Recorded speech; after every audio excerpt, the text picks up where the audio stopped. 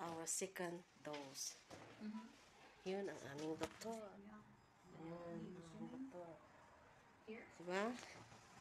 Kasi dapat nung Wednesday, kaso postpone ako kasi may work si Maria. Okay. Iniwan nila yung mga bag nila dito. Ayun na si Congressman. Tapos ka na, Congressman?